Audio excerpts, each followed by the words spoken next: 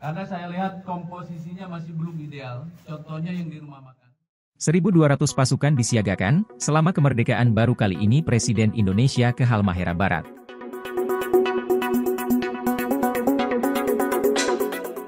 Apel gelar pasukan dalam rangka pengamanan kunjungan kerja Presiden Jokowi ke Halmahera Barat digelar di lapangan markas Yonif RK 732 Banau, Jailolo, Halmahera Barat, Maluku Utara, Selasa, 27 September 2022.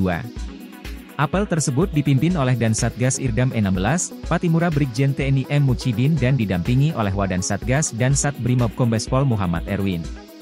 Yang dimulai pada pukul 8 waktu Indonesia Barat. Untuk kesiapan saat ini sudah 90% dan hari ini akan melakukan simulasi kegiatan dari awal hingga akhir, kata Mucidin. Apel gelar pasukan tersebut untuk mengecek kesiapan para pasukan pengamanan presiden yang akan berkunjung ke Halmahera Barat pada Rabu, 27 September 2022. Apel tersebut melibatkan pasukan gabungan dari TNI, Polri dan Pamda, dengan jumlah keseluruhan sebanyak 1.200 pasukan. Pasukan tersebut masih akan bertambah sesuai dengan kebutuhan pengamanan di lapangan.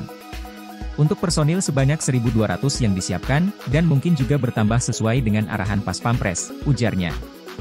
Ia juga berharap, kepada masyarakat Kabupaten Halmahera Barat agar menyambut baik kedatangan Presiden Jokowi ke Halmahera Barat. Diharapkan juga kepada masyarakat agar menyambut dengan baik, mungkin setelah kemerdekaan baru kali ini Presiden berkunjung ke Halmahera Barat, imbaunya.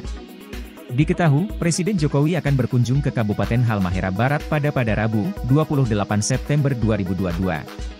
Kunjungannya ke Halmahera Barat ini sebagai rangkaian kunjungan kenegaraan di Maluku Utara, di Halmahera Barat, Jokowi akan membagikan BLT kepada masyarakat yang dilakukan di dua titik, yakni kantor pos Jailolo dan Pasar Rakyat Jailolo di Desa Gua Emadu Kecamatan Jailolo.